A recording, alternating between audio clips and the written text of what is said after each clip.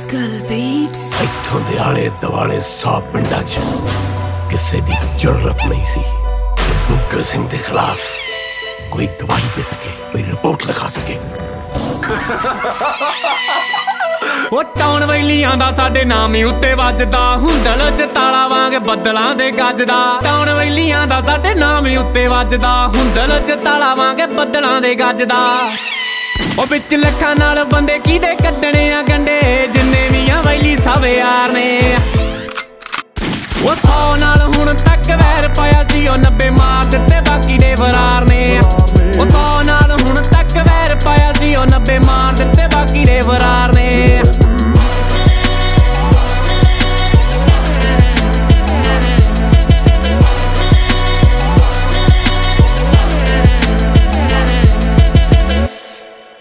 ਸੱਤ ਵਿੱਚ ਬੈਠ ਕਦੇ ਮਾਰੀ ਨਹੀਂ ਉਹ ਬੁੱਕਰੀ। ਕਰਕੇ ਬਿਆਨ ਅੱਜ ਬਾਣ ਨਹੀਂ ਉਹ ਮੁੱਕਰੀ।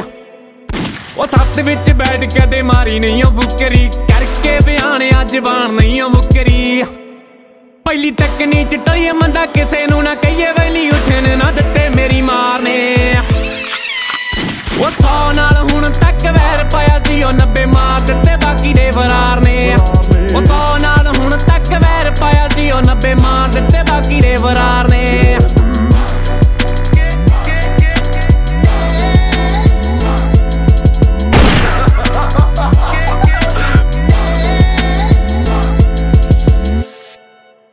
ਪੈਸੇ ਵੱਟੇ ਮੁੱਲ ਨਹੀਂਓ ਪਾਇਆ ਕਦੇ ਯਾਰੀ ਦਾ। ਮੂੰਹੋਂ ਕੱਟ ਬੋਲ ਬੰਦਾ ਹੱਥਾਂ ਨਾਲ ਸਦਾਰੀ ਦਾ। ਕਿੰਨੀਆਂ ਔਕਾਤ ਪਤਾ ਵੇਖਣ ਤੋਂ ਲੱਗੇ ਗੱਲਾਂ ਨਾਲ ਰੱਬ ਬਾਣੀ ਐਟੀਟਿਊਡ ਨਹੀਂ ਖਲਾਰੀ ਦਾ। ਆੜਿਆਂ 'ਚ ਬਣਦੇ ਆ ਸਾਲੇ ਸੱਭਿਆਚਾਰ ਦੇ। ਚੰਡੀਗੜ੍ਹ ਜਾ ਕੇ ਨਿੱਤ ਕੁੜੀਆਂ ਨੂੰ ਚਾਰਦੇ। ਸੁਣ ਗੀਤ ਹੁੰਦਲ ਦਾ ਕਰਨਗੇ ਰਿਪਲਾਈ ਮਰਨਗੇ, ਹੱਕ ਗੀਤਕਾਰ ਦਾ ਜੋ ਮਾਰਦੇ। ਮੰਗੇ ਹੱਕ ਗੀਤਕਾਰ ਦਾ ਜੋ ਮਾਰਦੇ।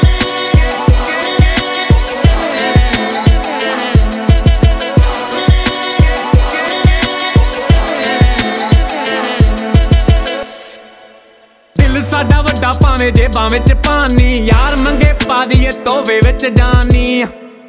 ਹੋ ਦਿਲ ਸਾਡਾ ਵੱਡਾ ਭਾਵੇਂ ਜੇਬਾਂ ਵਿੱਚ ਪਾਨੀ, ਯਾਰ ਮੰਗੇ ਪਾ ਦਈਏ ਤੋਵੇ ਵਿੱਚ ਜਾਨੀ।